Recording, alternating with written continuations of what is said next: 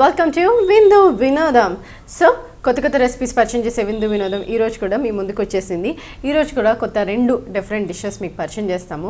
So నేనే కాదు నాతో పాటు షెఫ్ శ్రీకాంత్ ఉన్నారనమాట సో షెఫ్ శ్రీకాంత్ ఉన్నారు కాబట్టి ఏదో ఒక రెస్టారెంట్ స్టైల్లో లేకపోతే కేరళ నార్త్ సౌత్ అన్ని స్టైల్ ఆఫ్ డిషెస్ ఇప్పటివరకు చూపించారు కదా.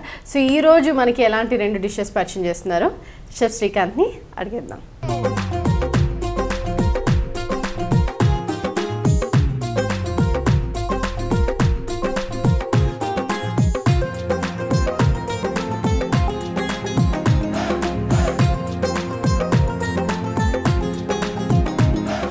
Hello chef Srikanth hello Sanjana garu. So ఎన్నో రకాల వెరైటీ వెరైటీ డిషెస్ చూపిస్తూ ఉన్నాం కదా సో ఈరోజు ఏం పరిచయం చేస్తున్నాం?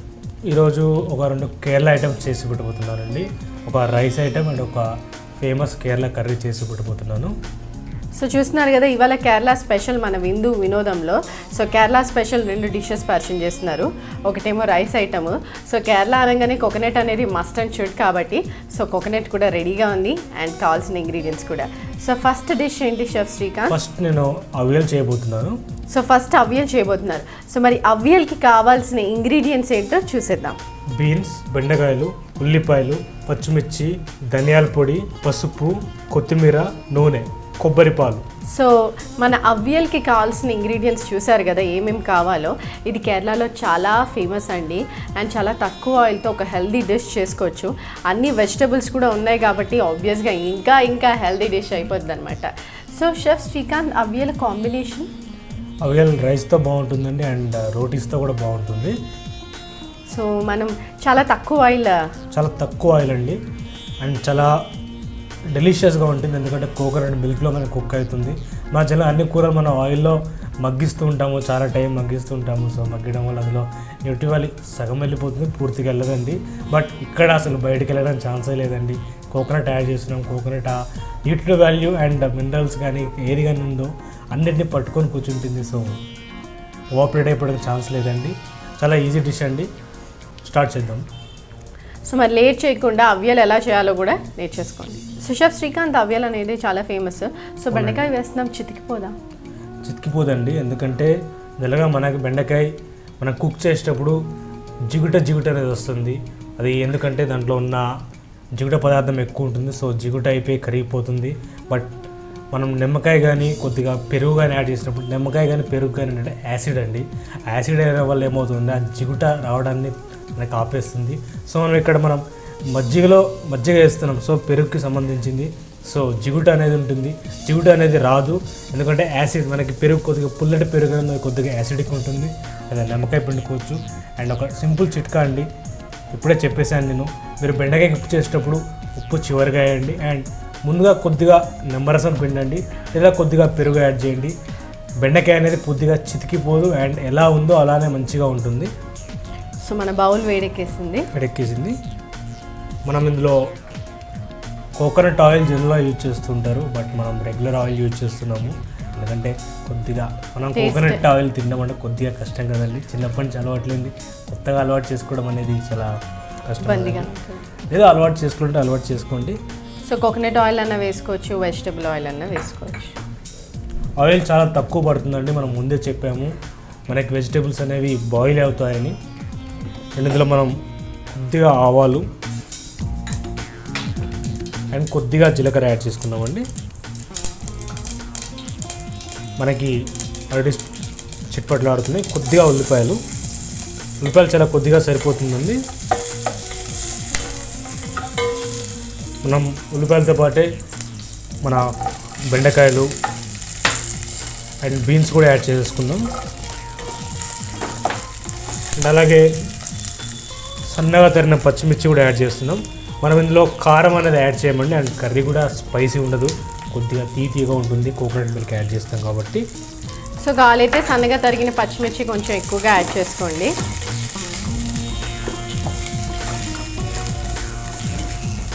అండ్ కొద్దిగా సాల్ట్ యాడ్ చేద్దాము. సో వెజిటేబుల్స్ తొందరగా కొద్దిగా కుక్ అవుతాయి. అంటే పూర్తిగా కుక్ అవసరం కొద్దిగా కలర్ మారితే కలర్ చేంజ్ అయితే సరిపోతుంది వెజిటేబుల్స్. కొద్దిగా సాఫ్ట్ పైన లేయర్ అనేది కొద్దిగా కుక్ అయితే సరిపోతుంది.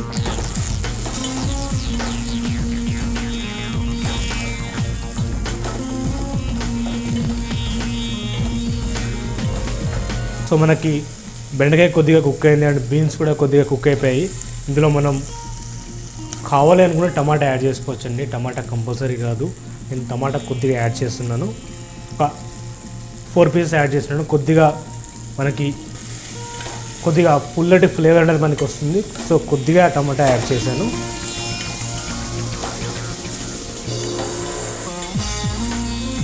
అండ్ అలాగే కొద్దిగా పసుపు అండి చాలా కొద్దిగా పసుపు యాడ్ చేస్తున్నాను.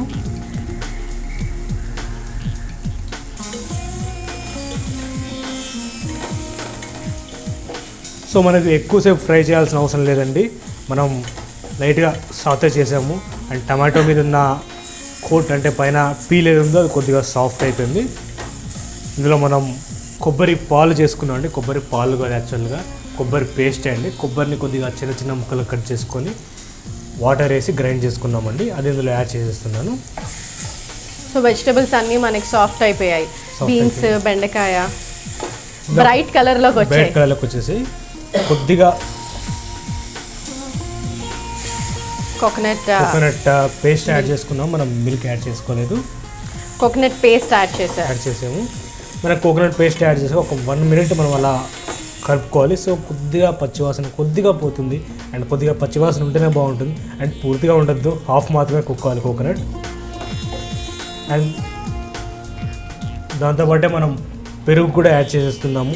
పెరుగు మనం ముందే యాడ్ చేస్తున్నాం. ఎందుకంటే మనం పెరుగు ఆయిల్లో యాడ్ చేస్తే కొద్దిగా పులుపు వస్తుంది. మనకి కర్రీ అనేది చాలా బాగుంటుంది. సో పుల్లటి పెరుగా ఏదైనా పెరుగు మనకి కొద్దిగా పుల్లగా ఉంటే బాగుంటుంది. చూస్తున్నారు కదండి ఇప్పటివరకు అయితే చాలా సింపుల్గా ఉంది. ఆయిల్ వేశారు తర్వాత ఆవాలు జీలకర్ర. కొంచెం సన్నగా తరిగిన ఉల్లిపాయలు వేశారు. తర్వాత బెండకాయ బీన్స్ వేసి అవి ఒక రెండు నిమిషాల పాటు ఆయిల్లో కొంచెం ఫ్రై చేశారు. ఆ తర్వాత ఓ రెండు మూడు పెద్దగా కట్ చేసిన టమాటా ముక్కలు వేశారు.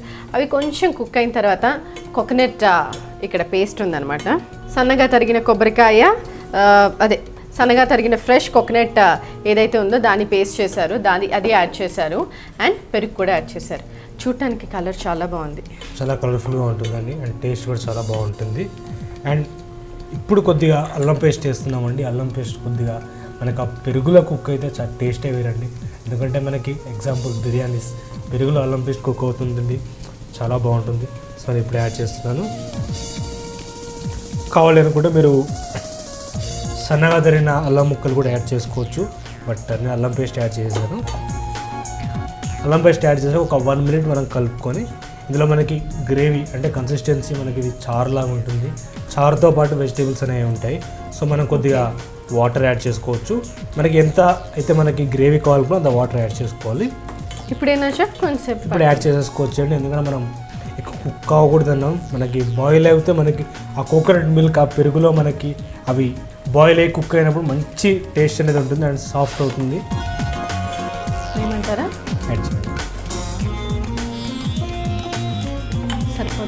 సరిపోతుంది.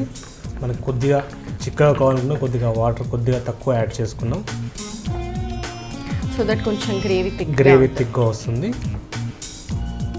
చూస్తున్నారు కదండి చాలా సింపుల్ అండ్ చాలా ఈజీగా అవ్యలు ఇంట్లో చేసుకోవచ్చు. కావాలైతే ఇంకా ఇంగ్రీడియంట్స్ కావాల్సినవి వాళ్ళు యాడ్ చేసుకోవచ్చు. వంకాయలు ఆలు యాడ్ చేసుకోవచ్చు డ్రమ్ స్టిక్స్ యాడ్ చేసుకోవచ్చు. మీ ఇష్టం ఎప్పుడన్నా ఒకసారి వెజిటబుల్స్ ఒకటి రెండు మిగిలిపోయినప్పుడు అవియలు చేసుకోండి సూపర్గా ఉంటుంది. సో మనకి ఇది ఒక ఫిఫ్టీన్ ట్వంటీ మినిట్స్ కుక్ కావాలండి. ఎందుకంటే మనం వెజిటేబుల్స్ని ఎక్కువ ఫ్రై చేయలేదు. సో మొత్తం ఇక్కడే బాయిల్ అవుతున్నాయి. సో పెరుగులో కొబ్బరి పేస్ట్ ఏదైతే వేసామో అదంతా పీల్చుకొని వెజిటబుల్స్ సూపర్గా వెజిటేబుల్స్ మనకి సాఫ్ట్ అయిపోతాయి చాలా టేస్టీగా ఉంటాయి. సో మనకు కొద్దిగా టైం తీసుకుంటుంది. సో మనం పక్కన పెట్టేసుకొని నెక్స్ట్ డిష్ చేసేసుకుందాము. ఓకే.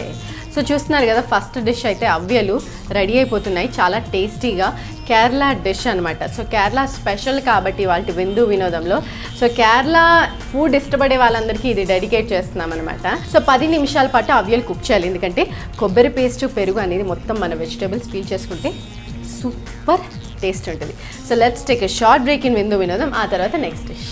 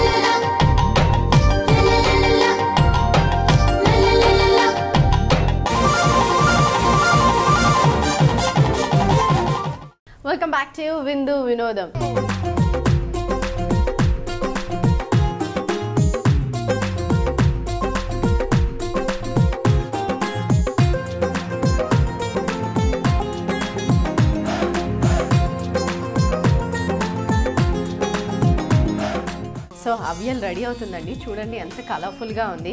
మొత్తం పెరుగులో కొబ్బరి పేస్ట్లో కుక్ అవుతూ కొద్దిగా పసుపు వేశారు. కారం వేయలేదు కాబట్టి మనకు అసలు రెడ్ కలర్ రాలేదు. సో పచ్చిమిర్చి ఘాటే ఉంటుంది అనమాట అవునండి. అండ్ పెరుగు పులుపు కూడా చాలా బాగా వస్తుంది. మనం జనరల్గా తాలింపు వేసుకుంటూ ఉంటాము. సొరకాయతో వాటితో లౌకితో మనం తాలింపు వేసుకుంటూ ఉంటాము పెరుగు పచ్చడి చేసుకుంటూ ఉంటాము. అలానే టేస్ట్ ఉంటుందండి. బట్ ఇక్కడ వెజిటేబుల్స్తో ఇంకా వెజిటేబుల్స్ అదే గ్రేవీలో బాయిల్ అయ్యాయి కాబట్టి చాలా చాలా బాగుంటుందండి. హెల్దీ కూడా. హెల్దీ కూడా. సో మనం డీప్ ఫ్రైలు అలా ఏమీ చేసి వేయట్లేదు. కడి అని అంటారనమాట. నార్త్ సైడ్లో చేస్తారు గుజరాత్లో రాజస్థాన్లో అక్కడ. సో పెరుగులో బేసన్ వేసేసి మనం బజ్జీలు వేసుకుంటాం కదా ఆలు బజ్జీలు వాటిని అందులో వేస్తారనమాట. సో ఎక్కువ ఆయిల్ పడుతుంది డీప్ ఫ్రై చేస్తారు. సో ఇక్కడ అలా కాకుండా చాలా తక్కువ ఆయిల్తో కావాలైతే ఆలివ్ ఆయిల్. వాడేస్తే సూపర్గా రెడీ అయిపోతుంది సో మరి అవ్యల్ అయితే రెడీ అవుతుంది ఇది పది నిమిషాలు పడుతుంది. సో మరి నెక్స్ట్ డిష్ ఏంటో chef Srikanth అడిగేద్దాం. So chef Srikanth next next dish coconut fried rice అండి. నిన్నగా కేరళ సైడ్ ఫాస్ట్ ఫుడ్ సెంటర్స్లో దొరుకుతుంటుంది. ఓ కేరళలో ఫాస్ట్ ఫుడ్ సెంటర్స్లో. కోకోనట్ ఫ్రైడ్ రైస్ చాలా ఫాస్ట్గా అయిపోతుంది అండ్ చాలా తక్కువ టైంలో అయిపోతుంది చాలా టేస్ట్ ఉంటుంది. అండ్ చాలా మంచి న్యూట్రిషన్ వాల్యూ అండి. ఎందుకంటే కోకోనట్ని ఎక్కువ ఫ్రై చేయము. లైట్గా ఫ్రై చేస్తాము. అండ్ పిల్లలకి కోకోనట్ మనం ఫైబర్గా పెడుతూ ఉంటాం. ఫైబర్ కోకోనట్లో ఫైబర్ చాలా ఎక్కువ ఉంటుంది. సో పిల్లలకి ఈ విధంగా మనం పెట్టినట్టయితే వాళ్ళు కోకోనట్ హ్యాపీగా తినేస్తారు. సో మనం చేసుకుందాం. So next coconut fried rice Chinese fast food centres మనకి ఇక్కడ veg fried rice veg Manchurian ఇస్తారు. Chicken fried rice. So coconut fried rice కేరళలో ఫేమస్. సో మరి కోకోనట్ ఫ్రైడ్ రైస్కి ఏమేమి ఇంగ్రీడియంట్స్ కావాలో చూద్దాం. కొబ్బరి పాలు పెరుగు తురిమిన కొబ్బరి సన్నగా తరిగిన పచ్చిమిర్చి సన్నగా తరిగిన అల్లం ఉప్పు పసుపు నూనె.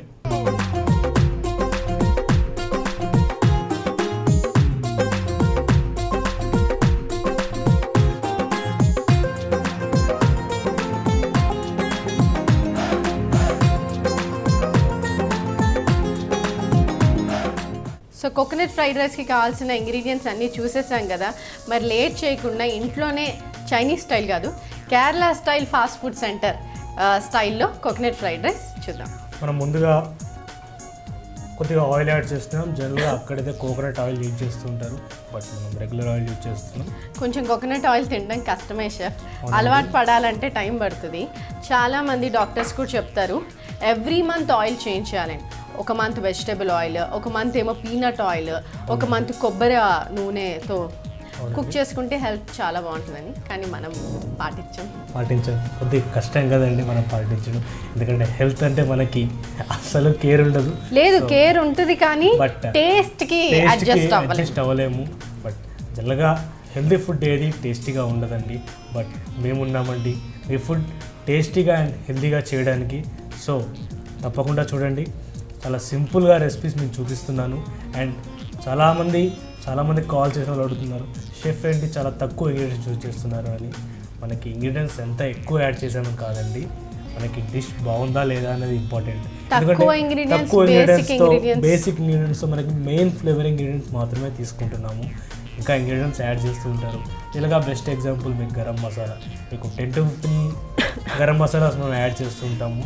బట్ సింపుల్గా మీకు గరం మసాలా మీకు చూపించాను. చాలా సింపుల్గా మీరు చాలామంది కాంప్లికేటెడ్గా చాలా ten ten items fifteen items చాలా రకాల గరం మసాలా యాడ్ చేసుకుని మాకు టేస్ట్ రాలేదు అంటూ ఉంటారు. బట్ ఎక్కువ యాడ్ చేసుకోవడం కాదండి. మనం యాడ్ చేసుకున్న కొన్ని కూడా కరెక్ట్ రేషియోలో అంటే ఎంత పర్సెంట్ యాడ్ చేసుకోవాలో అంత యాడ్ చేసుకుంటే మనకు మంచి టేస్ట్ వచ్చేస్తుంది. మనకి ఇక్కడ ఆయిల్ హీట్ ఎక్కిపోయింది. ఇందులో మనం కొద్దిగా జీలకర్ర యాడ్ చేస్తున్నాము.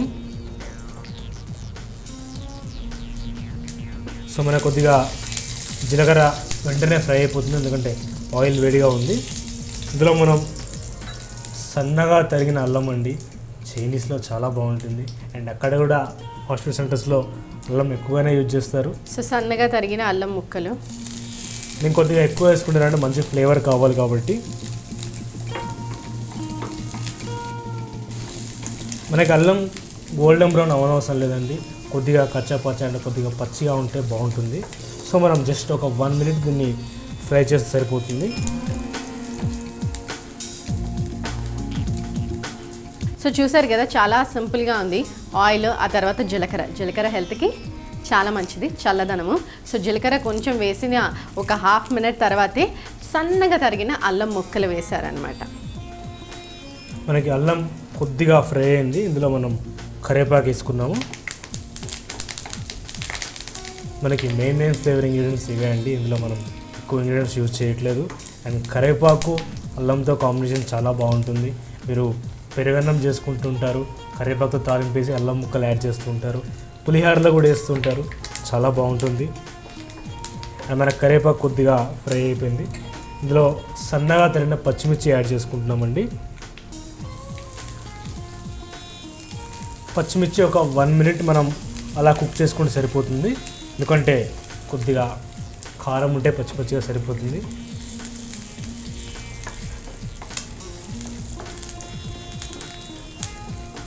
సో మన కుక్ అయిపోయాయి.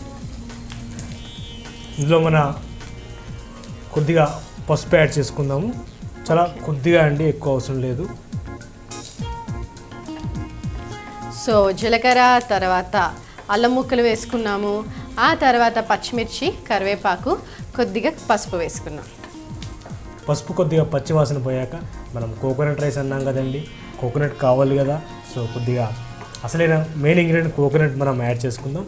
ఇక్కడ నేను కోకోనట్ మిల్క్ యాడ్ చేస్తున్నాను. దాంతోపాటు కొద్దిగా ఫ్రెష్గా గ్రేట్ చేసిన కోకోనట్ రెండు యాడ్ చేస్తున్నాను. ఎందుకంటే మనకి మిల్క్ ఏంటంటే మనకి సాఫ్ట్ స్మూత్గా ఉంటుంది. బట్ మనం కొద్దిగా గ్రేట్ చేసిన కోకోనట్ వేసుకున్నట్టయితే కొద్దిగా పంటికి తగులుతూ ఉంటుంది. చాలా బాగుంటుంది.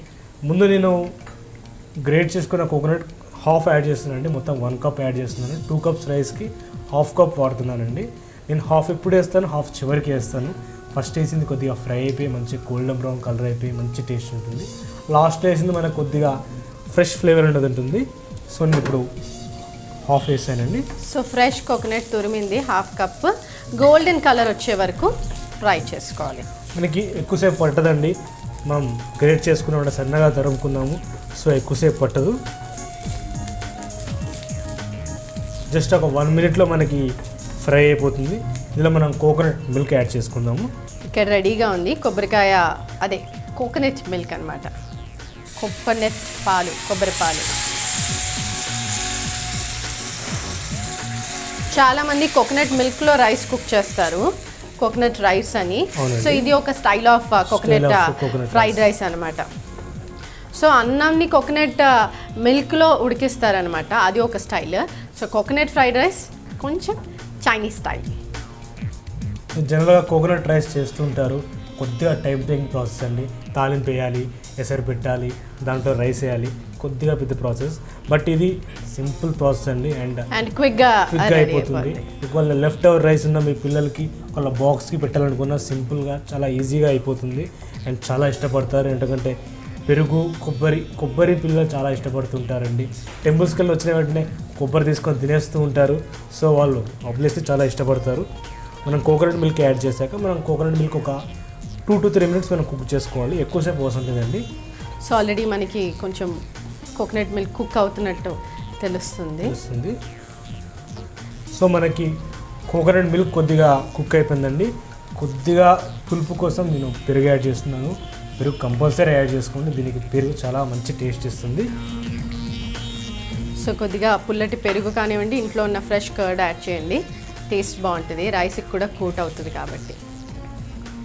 అండ్ అలాగే ఉప్పు టేస్ట్కి టేస్ట్ తగినంత. తగినంత.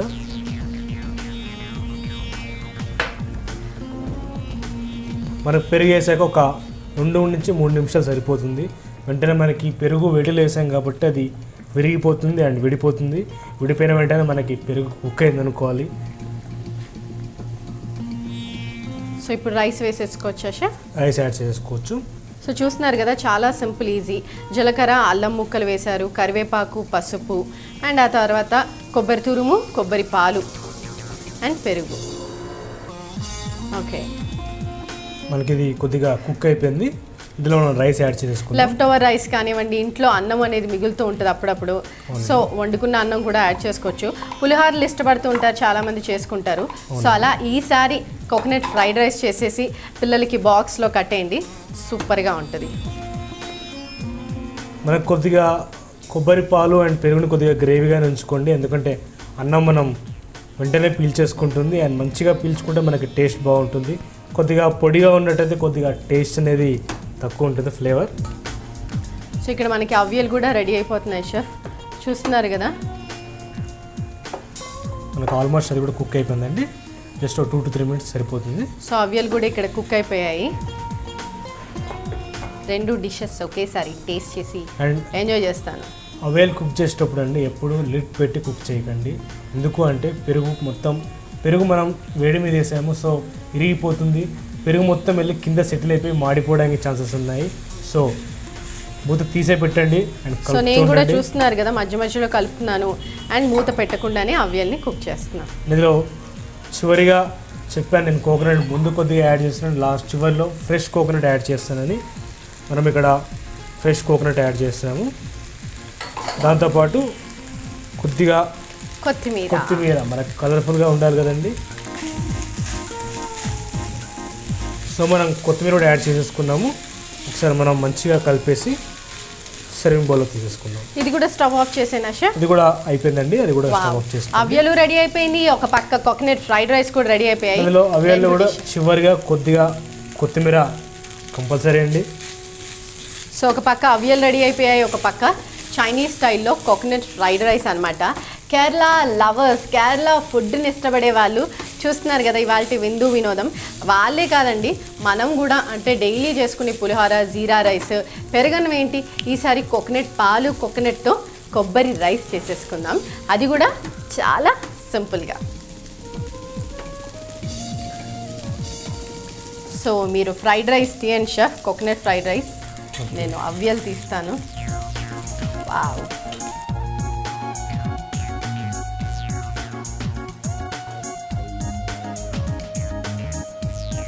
చూస్తున్నారు కదా ఒకటి కొంచెం గ్రేవీగా ఒకటి కొంచెం డ్రై డ్రైగా. సో మనకి కేరళ స్టైల్ ఫాస్ట్ ఫుడ్ సెంటర్లో దొరికే మనకి కోకోనట్ ఫ్రైడ్ రైస్ రెడీ అండి. సంజన గారు టేస్ట్ చెప్పండి ఎలా ఉందో. డెఫినెట్గా చూస్తున్నారు కదా పచ్చిమిరపకాయలు ఘాటే అనమాట నో కారం అదిరిపోతుంది aroma. So tasting time taste చేసి చెప్తాను ఎంత బాగుందో.